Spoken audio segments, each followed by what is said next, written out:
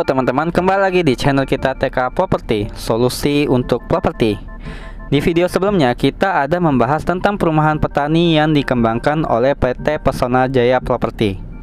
Saat ini kita akan membahas perumahan kedua yang letaknya itu di Jalan Kurnia, M Yamin, Gang Ilahi. Dan ini dikenal dengan nama perumahan Kurnia Residence. Sebelum kita bahas lebih lanjut, jangan lupa tekan subscribe untuk mendukung channel kita lebih lanjut dan teman-teman bisa mengetahui informasi update video-video terbaru dari kita. Spesifikasi dari rumah ini dari fondasi menggunakan beton bertulang, dinding batako plester, plafon gipsun, lantai keramik 60 60, rangka atap baja ringan, atap seng metal, cat ruang dalam dan sanitari menggunakan WC atau kloset jongkok. Rumah ini banyak yang sudah dibangun dan banyak dimiliki orang, tapi teman-teman masih punya kesempatan untuk punya rumah ini. Rumah ini mempunyai luas tanah 184 meter persegi, 8 kali 23.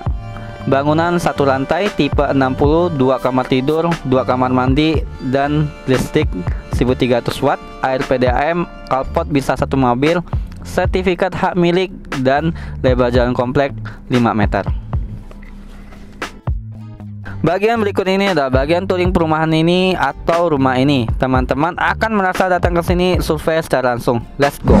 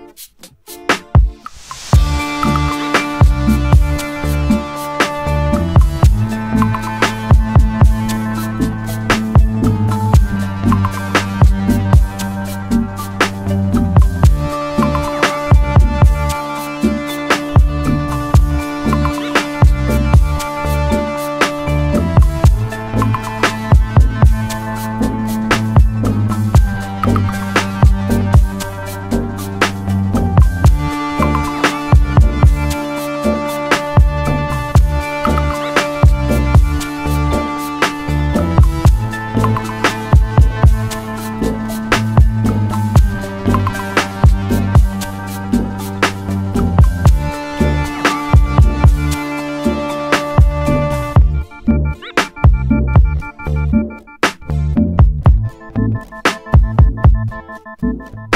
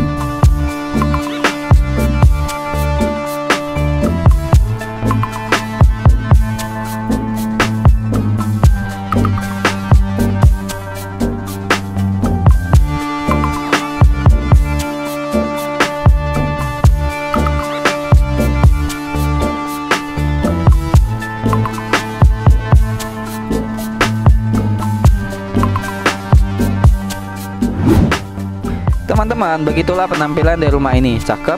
Cakep atau tidak? Atau teman-teman punya pendapat? Jangan lupa dikomentari di kolom komentar di bawah ini. Jangan lupa like dan share kepada teman-teman terdekat. Siapa tahu di antara teman-teman ada yang sedang mencari rumah seperti ini.